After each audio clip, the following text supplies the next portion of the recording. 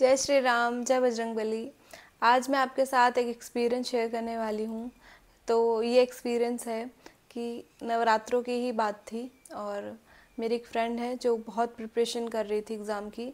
Banking की preparation कर रही थी, उसका एग्ज़ाम क्लियर नहीं हो पा रहा था।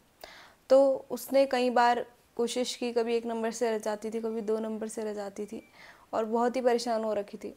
तो कई बार क्या होता है ना कि आप तो पूरी मेहनत करते हो, लेकिन भाग्य आपका साथ नहीं देता। शायद कुछ ग्रह आपके पक्ष में नहीं होते। कुछ लोग इन चीज़ों को मानते हैं, कुछ चीज़ नहीं कुछ लोग नहीं भी मानते हैं। तो खैर, वो तो हमारे ऊपर बात होती है। लेकिन कई बार होता है ऐसा, आप बहुत मेहनत करते हो, लेकिन आपका किस्मत, आपका भाग्य आपका साथ नहीं देता। तो सेम चीज़ उनके साथ हो रही थी। तो उस वक्त भी नवरात्र आने वाले थे। जो विधि मैंने आपके साथ शेयर करी, वही विधि उन्होंने भी पूरी की थी। और आप यकीन नहीं करोगे, उससे नेक्स्ट जो उनका अटैम्प्ट था, उसमें उनका सिलेक्शन हो गया। क्योंकि होता क्या है ना, कई बार हमारे ग्रह कमज़ोर चल रहे होते हैं। ऐसा कहते हैं कि जो हमारी नौकरी के लिए उत्तरदायी ग्रह है, वो शनि है। और मैं आपको हमेशा क्यों बोलती हूँ कि हनुमान चालीसा पढ़ो? क्योंकि हनुमान चालीसा पढ़ने से शनि ग्रह मज़बूत होता है। जितना स्ट्रॉन्ग ग्रह वो आपका होगा, उतना जल्दी आपको वो जॉब जॉब ला के देगा।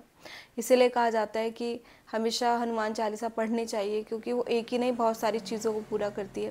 लेकिन आपकी जॉब से रिलेशन कैसे है उसका, वो मैंने आपको बता दिया कि भाई आपको भी पता होगा, लंका में जब रावण ने शनिदेव को बंदी बनाया था तो हनुमान हनुमान जी जब उधर पहुँचे तो शनिदेव ने कहा, मुझे यहाँ से छुड़वाओ।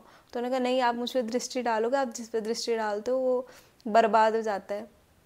तो उन्होंने बोला कि मैं आप पे क्या, जो आपका नाम लेगा ना, कभी उस पर दृष्टि नहीं डालूँगा। तब से शनिवार को भी हनुमान जी की पूजा होती है, आपने देखा भी होगा। तो अगर आप हनुमान चालीसा का पाठ करते हैं तो आपकी जो भी मनोकामना होती है, वो पूरी होती है। और अगर आप जॉब संबंधी इच्छा रखते हो तो वो इच्छा भी आपकी पूरी होती है। इतने सारे एग्जाम्पल्स हैं ना, मैं कई बार ना स्क्रीन लेती हूँ, लोग अपना एक्सपीरियंस शेयर करते हैं कि हमने ये चीज़ की थी और ये चीज़ पूरी होगी। लेकिन कई बार होता है, मेरे पास से टाइम नहीं होता कि मैं वीडियो बनाऊँ। जब वीडियो बनाने बैठती हूँ तो वो पीछे पीछे चले जाते हैं स्क्रीन मेरा ध्यान भी नहीं रहता। तो कई बार तो मैं कम्युनिटी में डाल देती हूँ। तो फिर ये वाली चीज़ है। अगर आप करोगे ना ये वाले, जो भी चीज़ें मैं आपको बताती हूँ कि आपको ये करनी है। बिना बिलीव के करोगे तो कुछ नहीं मिलेगा। बिना बिलीव के तब दवाई भी खा लो, ये सोच के कि कुछ नहीं है, बेकार था डॉक्टर ऐसे दे देता है। कोई फ़र्क नहीं पड़ेगा। लेकिन अगर विश्वास के साथ आप किसी पे विश्वास करते हो ना तो उसका इम्पैक्ट पड़ता है। कई बार होता है, दो डॉक्टर है सेम दवाई दे रहे हैं, पर एक की दवाई असर करती है, दूसरे की नहीं करती। क्यों? एक तरफ़ आपके बिलीव से कि यार अच्छी दवाई देता है, बढ़िया डॉक्टर है, बहुत बढ़िया। तो ऐसे दे देता है, दूसरा उठा के। लेकिन वो दूसरे पर कोई बिलीव करता होगा कि बहुत अच्छा काम करता है तो उसकी दवाई उसको असर करती है। बात दवाई की नहीं है, बात आपके माइंड की है। वो उस तरीके से एक्टिवेट हो जाता है। आपका जो माइंड है ना, वो इतना स्ट्रांग है ना, ब्रह्मांड की हर चीज़ ला दे सकता है। बहुत स्ट्रांग है आपका माइंड इतना पावरफुल है, इतना शक्तिशाली है, जिसकी पावर शायद आप जान ही नहीं सकते। लोग पहले एक जगह बैठे बैठे दूसरी जगह देख लेते थे क्या चल रहा होता था। एक जगह बैठे बैठे अपनी चीज़ें दूसरे तक पहुँचा देते थे। वो सारी पावर मन की थी।